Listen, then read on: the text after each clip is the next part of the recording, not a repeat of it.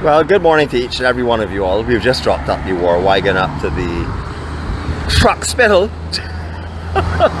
so we thought we'd drop you a little reel to say hi to you all. Greetings from myself and Jeanette. To be back out on the road in full force fairly soon.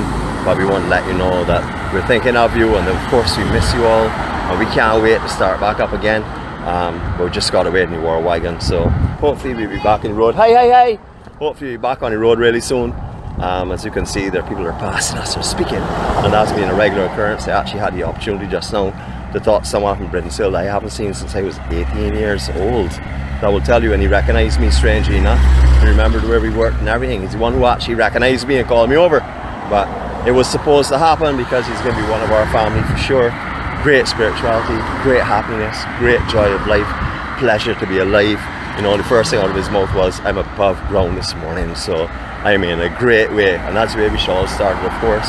You know, I hope you all have a fantastic day. I hope this reel reaches some of you this morning to just show you that no matter what happens, we continue going on. So we'll be back as soon as possible. Love from, of course, my co-star and myself.